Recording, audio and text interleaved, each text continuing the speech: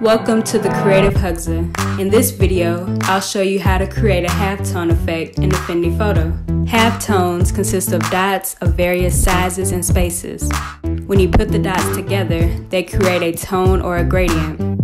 The halftone effect is usually done in printing so that less ink is used when printing an image. You'll see many magazines and newspapers use this technique, and it's also found in old comic books. First, go to File Open and select the downloaded image.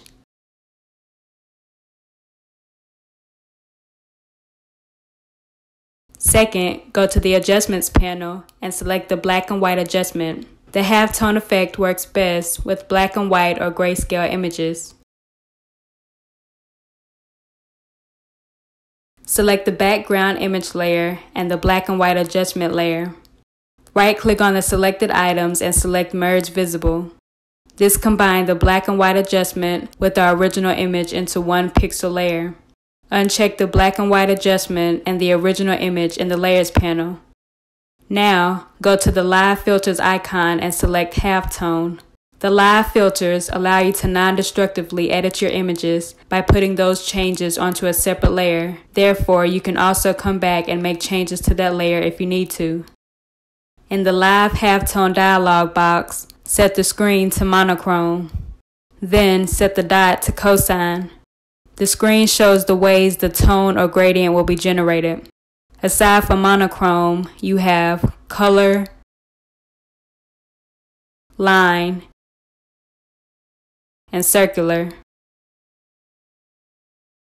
In the dot, cosine makes your dot smooth, while the round makes your dots sharp.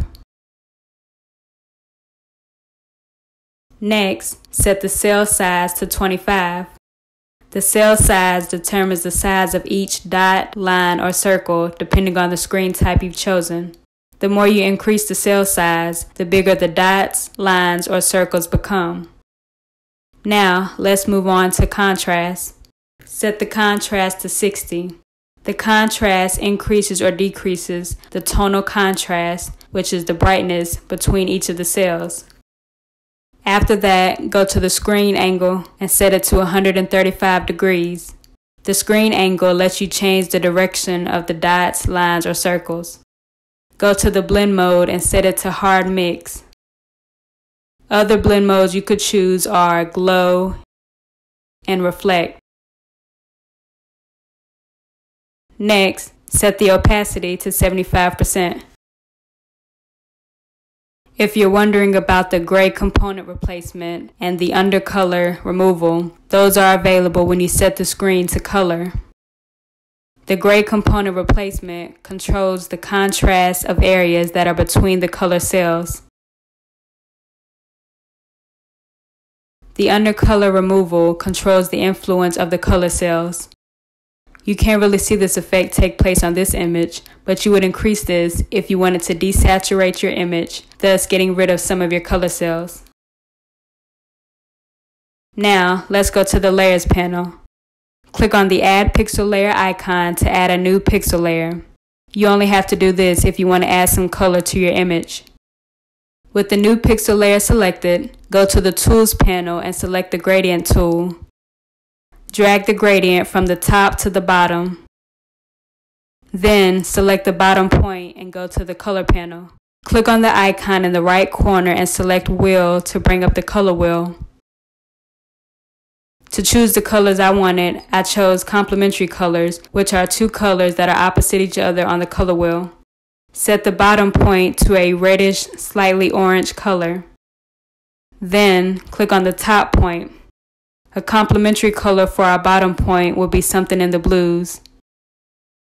Set the top point to a blue shade.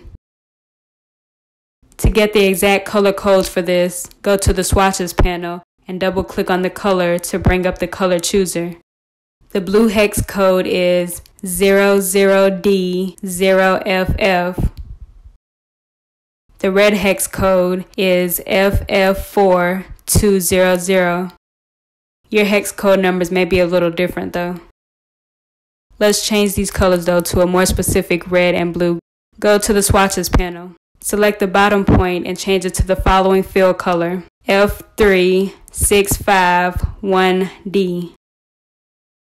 Then select the top point and change it to 125ED0.